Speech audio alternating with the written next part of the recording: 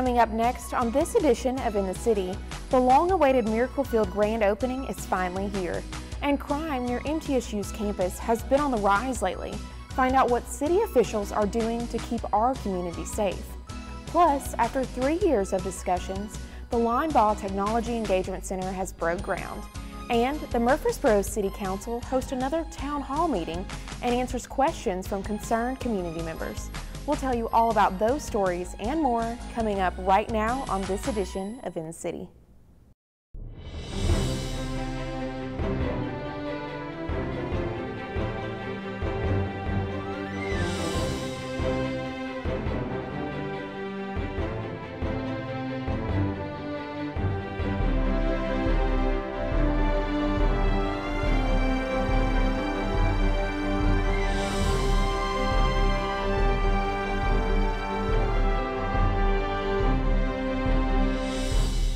Welcome to another edition of In the City, your source for what's happening right here in the city of Murfreesboro. I'm Cecilia Herrell.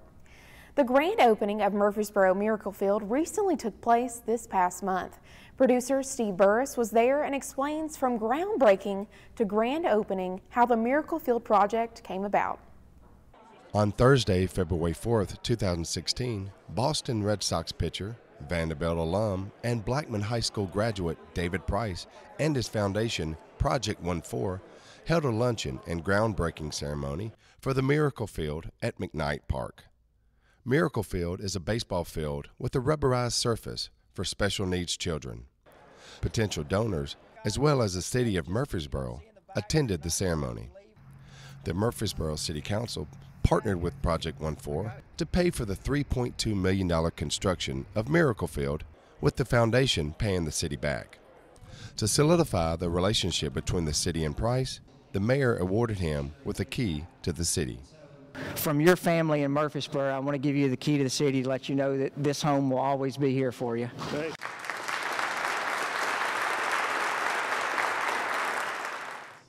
Price got the fundraising ball rolling by writing a $300,000 check to the city of Murfreesboro.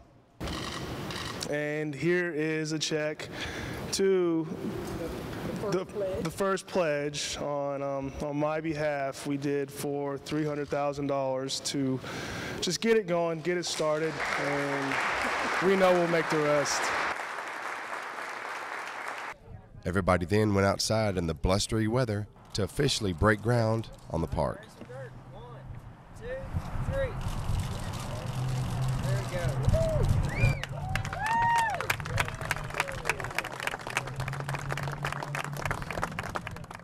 Trinity Builders was awarded the bid and began construction on July 14, 2016. Here is a nine month construction span of the facility.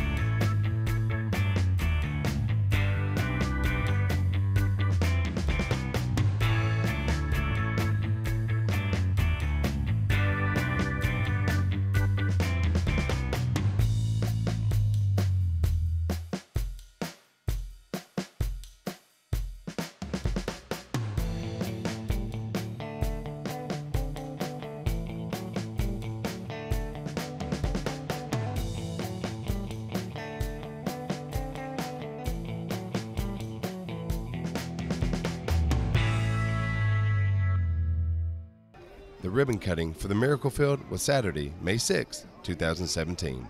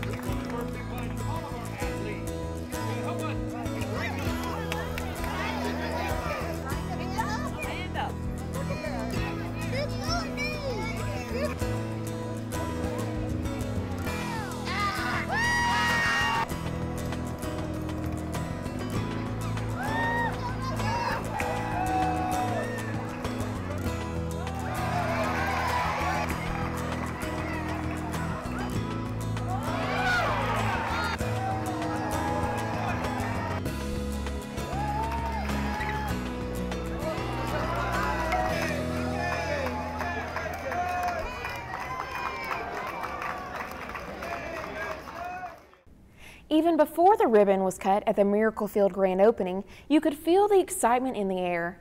We took the time to talk to some of the people that were instrumental in the construction of this facility.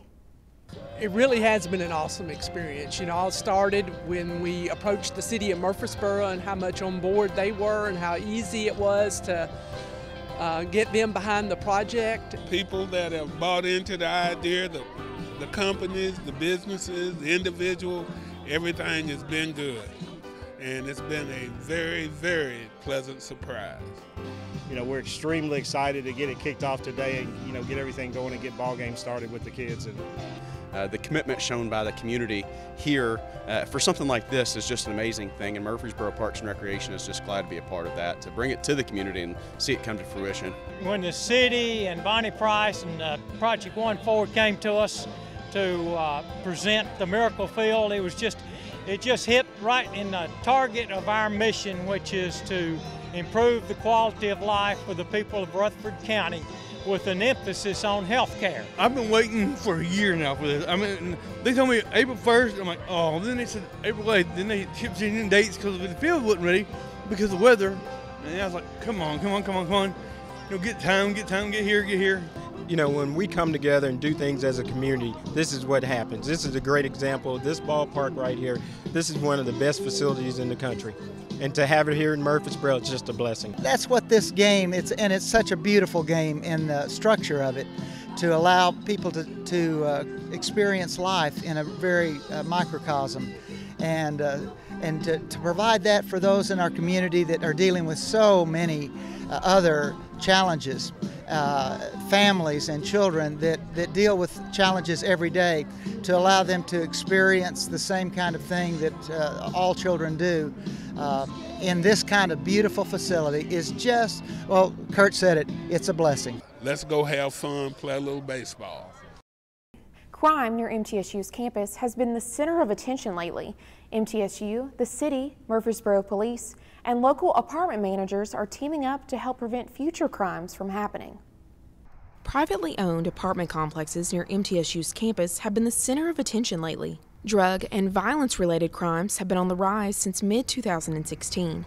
The city, Murfreesboro Police Department, MTSU, and apartment managers are now working together to decrease these incidents. Murfreesboro is a very safe place. Uh, we have a very low crime rate. We enjoy a very low uh, probability of being the victim of a crime.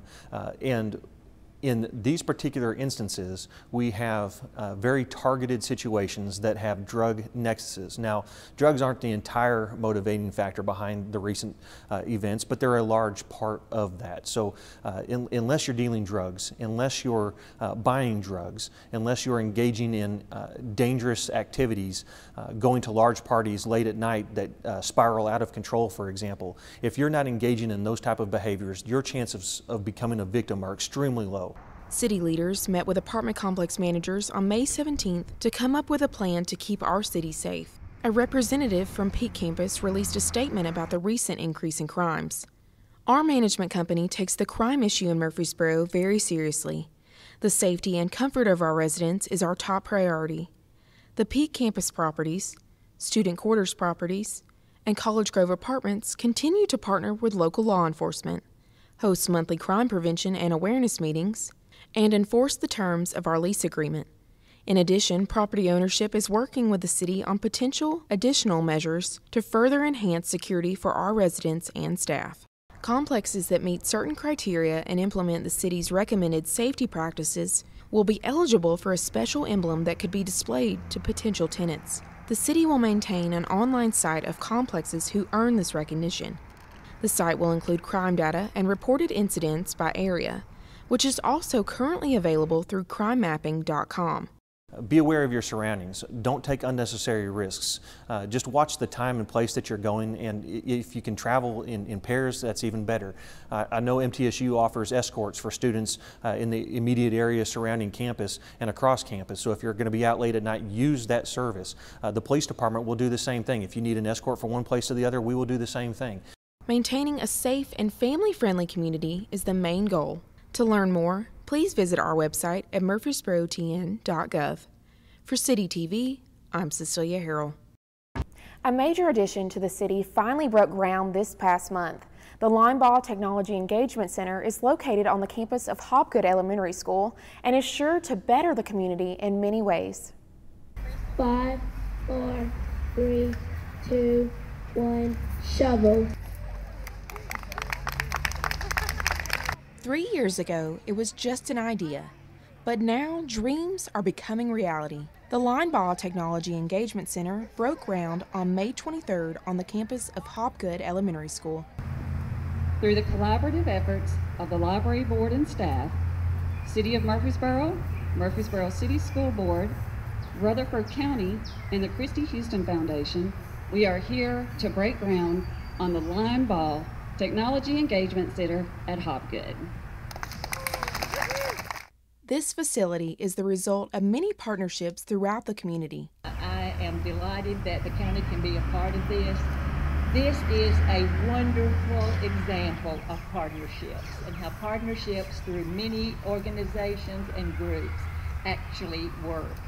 This will be the very first standalone public community technology center in the state of Tennessee and one of very few in our nation. This facility is a huge piece in bringing our community together and this puzzle to come together. So I cannot wait to see this completed did you know 41% of people in our community do not have internet access?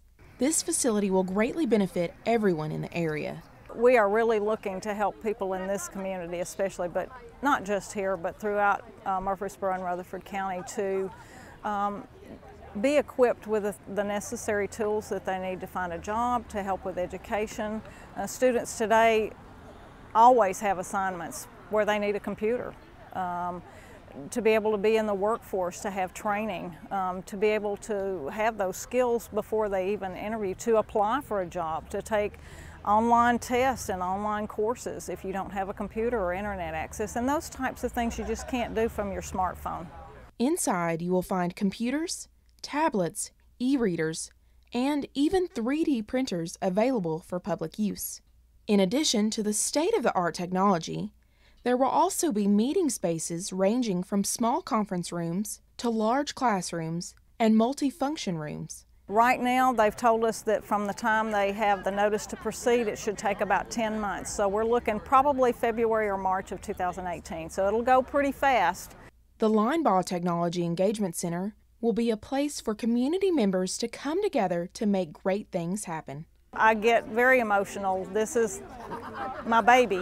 And so to see it finally come to fruition is just, unex- there's no words. It's just overwhelming.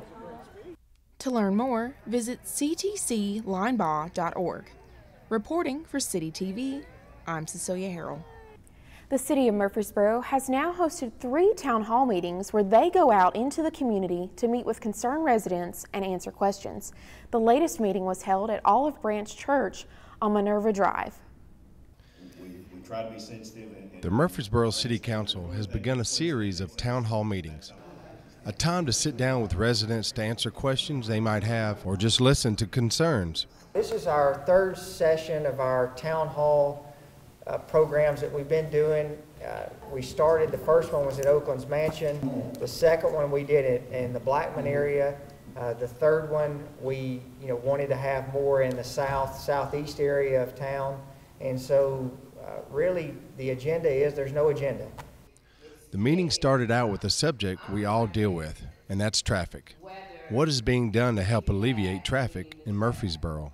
The transportation issue, I wish that there was an easy solution that I could tell you, you know, stop building, stop everything, but that's, you know, right now, um, there's not an easy solution on it. And we're hoping that we'll get some relief with some of the decisions the legislature has made. The one thing that I can confirm to you now, there are a lot of people thinking about this issue.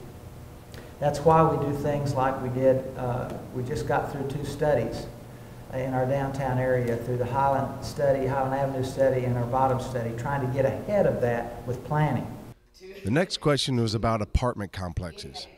Why are there so many apartment complexes being built in Murfreesboro? Everybody can't afford a house. So what's the next best thing? It's an apartment. Everybody doesn't want a yard. The next best thing is an apartment. I mean, if we did a study, and I think the study says all the apartments around here are 80 to 90 percent occupancy. That's pretty darn good. That's why we have so many apartments. We have the largest university here, and we're going there is a need for apartments. We can't just say we're just going to build houses. We're not going to apartment, build apartments. But we got to be strategic about where we build those apartments. I agree with that. A question came up about the state's increase in the gas tax and the reduction of the food tax, and if that would hurt Murfreesboro financially. The bill that was approved by the General Assembly and signed by the governor did include both the increase in the gas tax to fund road projects, and that goes to a special fund that builds roads. Uh, to the general fund, there was a 20% uh, cut in the get the tax on groceries. So that 20% gas and uh, tax reduction in groceries will impact the general fund a little bit. But the fortunate thing is that the cities continue to grow. We've had new retailers come here. Our population has grown, and we are projecting additional growth in our sales tax this year, despite the grocery tax reduction. Another very popular question residents have is the red light cameras. Why does Murfreesboro have them? We have a major red light running problem in the city of Murfreesboro. From the standpoint of revenue coming into the city, I think all the council members, we were on record for years saying this, you know, we don't do it for, for money. The sole purpose that we have them is in one of the six busiest intersections is to be able to, to monitor those intersections but not have police officers sitting in those intersections 24-7. The city saw a 50% reduction in crashes um, citywide, not just at the, uh, the intersections with the red light cameras in them. So what we do know is it's saving lives. While we may come down differently on the issue where what decided it for me was the safety of our citizens. And it, uh, it, it's a difference. It makes a difference in the, in the safety of our citizens. What is the city's ordinance on people selling newspapers for profit in city streets? I think where we came down on it uh, the, when it was presented the last time was the fact that if it was on private property, if you had an individual or a business that uh, would allow the solicitation on their private property, then it was fine. But in the public right-of-way, it created a hazard for our citizens. What's the city and the Murfreesboro Police Department doing about violence occurring in apartment complexes? The council about five or six months ago passed an unruly gathering ordinance. Um, what that unruly, unruly gathering ordinance did is allow the, the municipality to be able to not only cite the tenant when there's an issue, but we now can cite the landlord. So that's, that was the first step, and I think that's helping. The second step is we are setting up meetings with what we have deemed the top 10 problem complexes in Murfreesboro. The problem that we have, we're meeting with apartment managers, but they're not the owners. And a lot of the owners of these apartment complexes are all out of state. So there's going to have to be um, diligence with the apartment owners on who they lease to. Middle Point landfill will be at capacity within the next five to ten years. What is the city in Rutherford County going to do with their trash?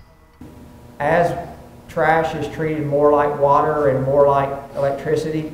You know, it's if you use it, you're going to have to pay for it. The people who recycle are not going to be paying near as much as what everyone that just throws the trash through. So it is a huge issue. It's not an issue that is going to get a lot of paper, um, but y'all, everyone just needs to know that's something that um, over the next two years We've got a consultant that Kurt and I sit on the committee right now. We've partnered with the county, with Eagleville, Smyrna, and La Vergne, and we're all trying to figure out what we're going to what we're going to do. Um, we're getting closer. The city wants to thank all the participants of this town hall meeting. Mitchell Neilson students recently spent an afternoon on Stones River floating a boat they built with math. I was there to get a first-hand look. Who says math class can't be fun? Mr. Clarity, a teacher at Mitchell Neilson Elementary School, teaches math to fifth graders in a unique and engaging way by building a boat. Over the past few months, students have been solving math equations to build this boat. Their hard work finally paid off. Students geared up in life jackets and grabbed paddles to finally float around in the boat they helped build. The boat set sail in the Stones River on Tuesday, May 9th.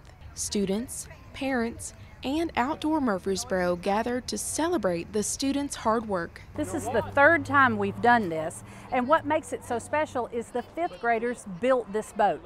They've worked in their classroom to build it um, using math and science standards, and every fifth grader at Mitchell Neilson has had their hand in this boat measuring and working on all the math standards. And so today we get to see the product in action, and we brought it out here to the um, trailhead and get to put it in the water and float it. Students not only used their brain power to help build the boat, they were also very hands on in the process. And it's so much more meaningful for students to work on these math skills when they have an actual product in their hand and that they're going to see the results. So much better than a worksheet, and you can see how much fun they're having. Reporting for City TV, I'm Cecilia Herrell. Believe it or not, Murfreesboro's transit bus system called Rover celebrated 10 years in May. We called up with the Assistant Transportation Director to see how they celebrated this milestone. Rover's been around for 10 years now, and that's kind of what we're celebrating today is our 10-year anniversary, and we're, we're celebrating our riders that, that have been loyal to us and all the new riders that, uh, that we have and those that we hope to gain. Um, there's a lot of exciting things that are coming around the horizon for Rover. Uh, we're, we're looking on, in the early stages of building a new transit center. We hope to have additional routes once that's done, uh, maybe expand our service. Uh, but all of that, you know, takes a lot of planning and, and uh, uh, funds and all that good stuff. So, but we're working on it. Um, if you just ask any of our riders, they'll tell you that this is a lifesaver to most of them.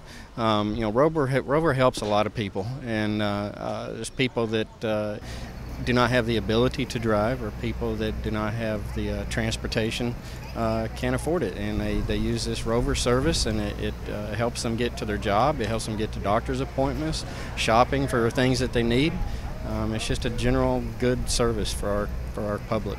The council is, is really on board with Rover, um, as well as the mayor and our city manager, and, and uh, you know we're all looking and working together to uh, expand this service and uh, make it make it better for the citizens of Murfreesboro. And as we grow, the need is going to be even bigger. So we're anticipating some pretty big things coming up.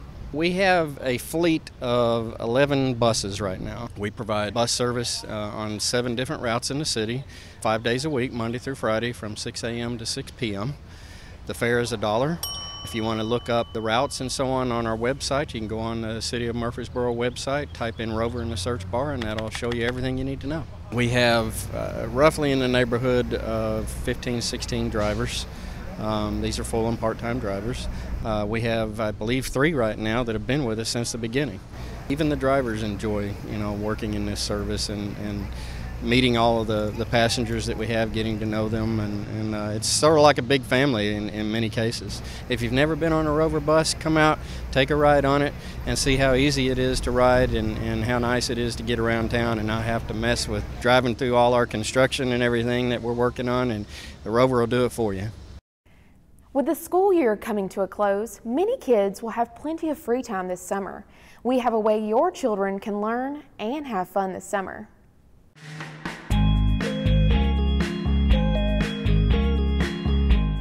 With the school year ending soon and temperatures on the rise, it's nice to find something children can enjoy indoors. Tucked away inside Patterson Park Community Center is the MGL Library, a small branch of the Linebaugh Public Library System. The MGL Library is now offering youth summer programs. The library already offers story hours every Friday at 10 a.m., but beginning in June, these story hours will include special guests and activities. Well, we're really excited to extend our regular Friday story times throughout the summer as we explore this year's summer reading theme, which I'm very excited about. It is Build a Better World. So we've got a lot of special guests coming out. They're going to talk to us about um, how they help our community, and they're going to help us also do a lot of fun activities and crafts. June 2nd is the opening event and will be all about mad science. June 9th is Snowbird Storytime. June 16th is the Reptile Show with Ashley. June 23rd is all about Habitat for Humanity. June 30th, there will be special guests from the fire department. On July 7th, there will be special guests from the police department. On July 14th, EMTs will be stopping in for a special visit. On July 21st, the Wilderness Station will be hosting an animal show. The summer reading program will conclude on July 28th with a picnic and a service project. Our ultimate goal is always the same. It's to provide for the kids, provide for the parents what they need, uh, make sure that things like the summer slide don't happen as much, that uh, just the kids have a good time over the summer, but at the same time that they're really learning something and they're growing as people. Everything is going to be for free, and that includes getting into the library. Yes, we're inside Patterson Park Community Center, but you don't have to pay the fees with Parks and Rec to get into the library. If you want to learn more about the MGL Library Summer Reading Program, you can call 615 907 3429 or visit linebaugh.org. Reporting for City TV, I'm Cecilia Herrell. The City of Murfreesboro is building a brand new park in the western part of the city. We sat down with the Assistant Parks and Recreation Director to talk about how they decided what to put in the park.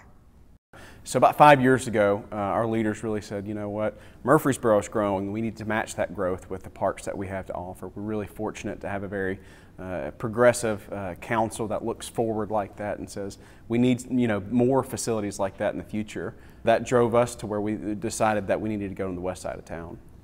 We hired a firm uh, to start looking at properties, and they analyzed for uh, over a year all the different properties that were for sale and the ones that might be for sale in the future to figure out which one of these might be able to hit these broad um, ideas and principles that we established many years ago. This park is bordered by uh, three roads I think people really uh, recognize. It's Burnt Knob Road, Veterans Parkway, and then 840. One of our main priorities uh, early on in the process, uh, after we picked an architectural and engineering firm to start the conceptual master plan, that firm helped us reach the public through different ways, through surveys, through public meetings, and we had a lot of success, a lot of, a lot of uh, returns on some of our questionnaires about it. So um, that was really the primary part of that conceptual master plan.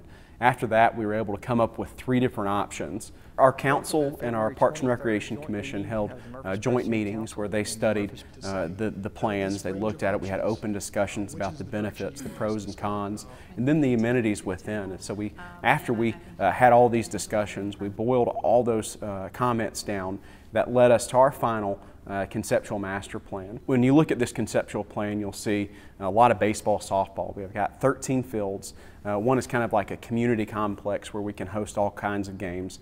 The other side will be served uh, for the community, uh, but it will also serve regional tournaments, and that has championship complexes, and people will come all over to use this, and it'll be a, really a shining star, we think, for Murfreesboro. Something else that we're really excited about is we've got two multi-purpose fields that'll be able to be used for uh, soccer, lacrosse. We can use those for practice facilities, and then also just pickup games if people want to go out and need a flat surface to play, run, do exercises, that type of thing. Another amenity that we heard loud and clear was that people wanted open space. So we're really glad we've got a big open space where people can go relax, they can walk, uh, we're going to include some type of a performance area where people can bring in portable staging. We can do our own programs there. We can rent that space out for people to do concerts. Uh, that'll have all the electrical hookups and everything required. Uh, something that we don't have in this community is an interactive water feature or a splash pad.